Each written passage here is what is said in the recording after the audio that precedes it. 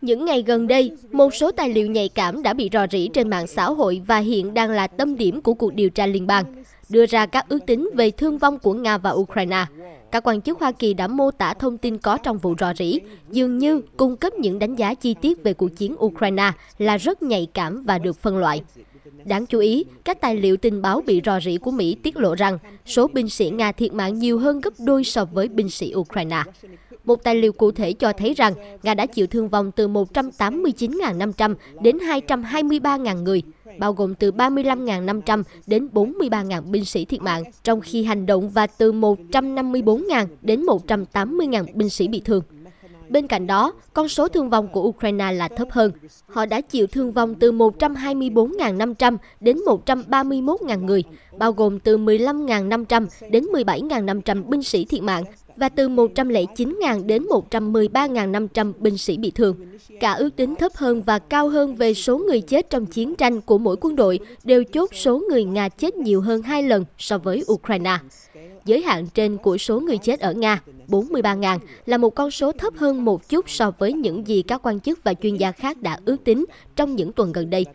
Bộ Quốc phòng Anh cho biết trong một bản cập nhật tin báo hồi tháng 2 rằng khoảng 40.000 đến 60.000 lực lượng có liên hệ với Nga, bao gồm quân đội chính quy của Moscow và lính đánh thuê từ tổ chức bán quân sự tập đoàn Wagner, có khả năng đã thiệt mạng. Trong khi đó, Trung tâm Nghiên cứu Chiến lược và Quốc tế cũng ước tính rằng khoảng 60.000 đến 70.000 binh sĩ Nga đã chết ở Ukraine trong cùng tháng đó. Về tổng số thương vong, Bộ Quốc phòng Anh cho biết vào tháng 2 rằng Nga có thể phải chịu thiệt hại lên tới 200.000 người.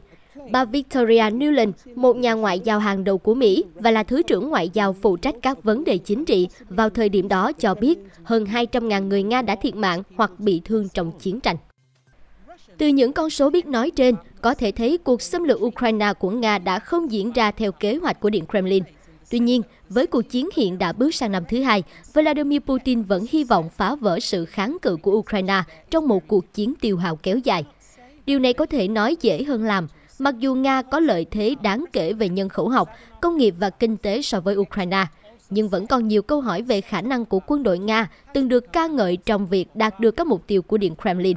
Điều quan trọng là sự phụ thuộc rõ ràng vào chiến thuật biển người trong cuộc tấn công mùa đông gần đây của Nga đã dẫn đến những tổn thất thảm khốc đe dọa làm suy yếu tinh thần trong hàng ngũ quân đội xâm lược của Putin. Hầu hết các nguồn độc lập đều đồng ý rằng giao tranh trong những tháng gần đây đã dẫn đến một số cuộc tàn sát tồi tệ nhất trong toàn bộ cuộc chiến. Vào giữa tháng 2, Bộ Quốc phòng Anh báo cáo rằng trong hai tuần trước đó, Nga có thể đã phải chịu tỷ lệ thương vong cao nhất kể từ giai đoạn đầu của cuộc xâm lược gần một năm trước đó. Tổn thất nặng nề nhất của Nga trong những tháng gần đây được cho là xảy ra trong các trận chiến giành quyền kiểm soát các thị trấn chiến lược ở miền đông Ukraine như Bakhmut và Volodya, với việc Ukraine tuyên bố đã giết hoặc làm bị thương hàng chục nghìn binh sĩ Nga. Mặc dù chưa được xác nhận, nhưng những con số này được hỗ trợ bởi các cảnh quay chiến trường rộng lớn. Phần lớn trong số đó cho thấy quân đội Nga đã tham gia vào các cuộc tấn công trực diện liều lĩnh vào các vị trí phòng thủ cố thủ. Chiến thuật làng biển người ở miền đông Ukraine phản ánh các lựa chọn quân sự đang thu hẹp của Nga sau một năm thất bại đáng xấu hổ trên chiến trường. Quân đội Nga tham gia cuộc chiến hiện tại với danh tiếng là quân đội số 2 thế giới, nhưng đã thể hiện rất kém ở Ukraine. Với nhiều đơn vị dày dặn kinh nghiệm nhất và trung đoàn tinh nhuệ của mình đã bị tiêu diệt, Putin giờ đây hy vọng sẽ làm cạn kiệt các nguồn lực của Ukraine và tồn tại lâu hơn những người ủng hộ phương Tây của đất nước này bằng cách dựa vào quân số vượt trội. Trong những tháng cuối năm 2022, ông đã củng cố lực lượng xâm lược của mình với thêm 300.000 quân thông qua đợt huy động đầu tiên của Nga kể từ Thế chiến thứ hai. Chiến thuật biển người không phải là mới và thường liên quan đến việc binh lính tiến hành các cuộc tấn công trực tiếp với số lượng lớn với mục tiêu áp đảo lực lượng đối phương. Những đội quân như vậy thường được coi là những người lính sử dụng một lần.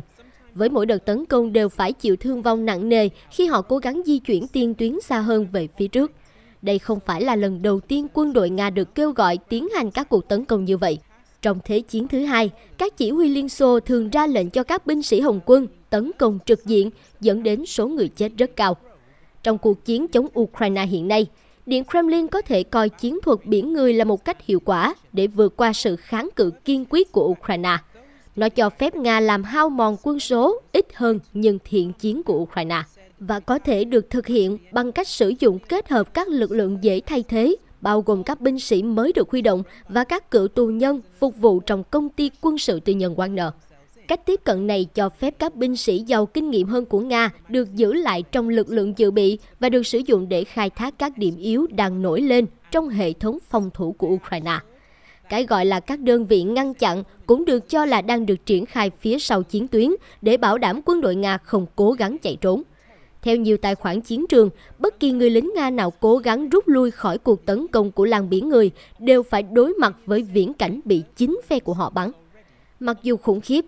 chiến thuật làng biển người của Nga đang tạo ra kết quả. Tuy nhiên, bất kỳ tiến bộ nào trong 3 tháng qua ở Bakhmut và tại thời điểm khác dọc theo chiến tuyến dài 600 dặm đều có quy mô khiêm tốn và phải trả giá đắt.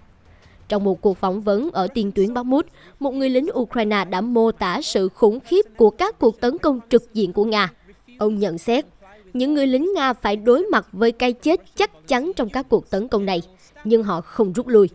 Bạn có thể bắn vỡ đầu anh ta, nhưng đồng đội của anh ta sẽ tiếp tục đến. Chỉ huy của chính họ sẽ giết họ nếu họ không tấn công. Sự tàn bạo của các cuộc tấn công bằng biển người của Nga đang dẫn đến các dấu hiệu mất tinh thần ngày càng tăng trong các binh sĩ tiền tuyến.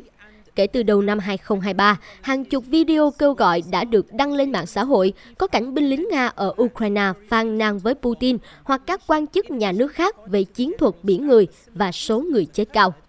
Hãng truyền thông Nga Voskar đưa tin rằng kể từ đầu tháng 2, các binh sĩ Nga từ ít nhất 16 vùng khác nhau của đất nước đã ghi lại các tin nhắn video. Trong đó, họ chỉ trích các chỉ huy quân sự của họ vì đã sử dụng họ làm bìa đỡ đạn. Cảnh quay cũng cho thấy binh lính Nga từ chối tuân theo mệnh lệnh sau khi chịu tổn thất nặng nề trong cuộc tấn công mùa đông gần đây ở miền đông Ukraine. Mặc dù thông tin chi tiết vẫn chưa được xác nhận, nhưng hầu hết các vụ việc này dường như đều liên quan đến quân đội Nga mới được huy động. Những người lao vào trận chiến thường là sau khi được huấn luyện tối thiểu. Trong một dấu hiệu đáng lo ngại hơn nữa đối với Điện Kremlin, các quan chức Ukraine đã báo cáo một số lượng kỷ lục các cuộc gọi vào tháng 3 năm 2023 đối với sáng kiến tôi muốn sống của nước này, giúp quân đội Nga đầu hàng quân đội Ukraine. Tất cả những điều này dẫn đến kết luận rằng các cuộc tấn công bằng biển người có thể làm trầm trọng thêm các vấn đề về tinh thần của Nga và đẩy nhanh hơn nữa sự oan minh của các cuộc tấn công ở tiền tuyến. Ở giai đoạn này, dường như có rất ít khả năng xảy ra sự sụp đổ đột ngột trong quân đội Nga giống với sự tan rã của lực lượng an ninh Afghanistan trong cuộc rút quân năm 2021 của Hoa Kỳ. Trong khi các vấn đề mất tinh thần mà quân đội Nga phải đối mặt có vẻ đáng kể, các bước gần đây nhằm đưa ra các hình phạt hà khắc đối với những binh sĩ Nga bị kết tội không vâng lời. Đào ngũ hoặc đầu hàng thể hiện một biện pháp răng đe mạnh mẽ. Sức mạnh nội địa liên tục của chế độ Putin và sự kiểm soát của nó đối với không gian thông tin cũng phục vụ để giữ cho quân đội Nga vào hàng lối một cách yếu ớt. Giờ đây, Điện Kremlin có thể đã nhận ra rằng họ phải giải quyết sự tức giận và báo động lan rộng về việc sử dụng biển người của quân đội. Vào đầu tháng 4, tướng Nga Rustem Muradov được cho là đã bị sa thải khỏi chức vụ tư lệnh cụm lực lượng phía đông ở Ukraine sau khi ông xử lý thảm hại cuộc tấn công thất bại gần đây vào Vuleda, dẫn đến thương vong đặc biệt nặng nề. Muradov đã bị chính quân đội của mình cùng với nhiều thành viên trong cộng đồng blogger lên tiếng ủng hộ chiến tranh của Nga, chỉ trích rất nhiều, khiến ông trở thành biểu tượng không chính thức cho chiến thuật lan biển người của quân đội. Sự ra đi của Muradov có thể cho thấy một sự thay đổi sắp tới trong chiến thuật. Điều này có thể được cho là đã quá hạn. Nếu Nga đang hy vọng vượt qua Ukraine trong một cuộc chiến tiêu hao, các tướng lĩnh của Putin sẽ cần phải vượt ra khỏi sự phụ thuộc vào những đợt tấn công tốn kém của con người và các cuộc tấn công trực diện gây mất tinh thần.